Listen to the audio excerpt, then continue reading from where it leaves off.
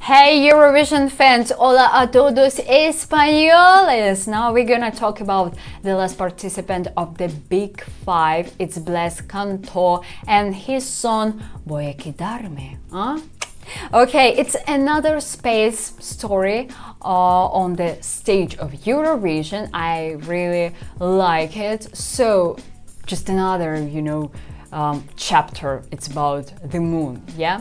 So first of all, the change in the lightning. Thank God uh, we may see the participant because uh, previously during the first rehearsal it was really challenging you know to notice him on the stage the lighting was so dark so now it's a change it's uh, the light at him very good okay i like this huge moon visual wow uh, it's gonna be a really massive uh, at you know the tv screen the tv version Plus, uh, during the second rehearsal, we saw, you know, the dark side of the moon, and I guess it's gonna be just turned to us, and we will see this, you know, brightness, something like that.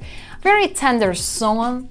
Uh, I like Spanish songs, they're so emotional, full of this, you know, love energy. Tienes mi corazón. Yeah.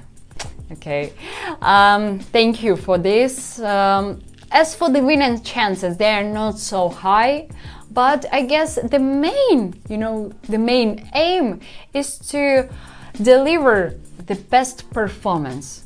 Show what you have and don't think about these places. So, uh, Blas uh, does it very, very good. What do you think about this song? Are you into it? Or would you like to see another station? Huh? So, your opinion, your emotions, everything in the comment section.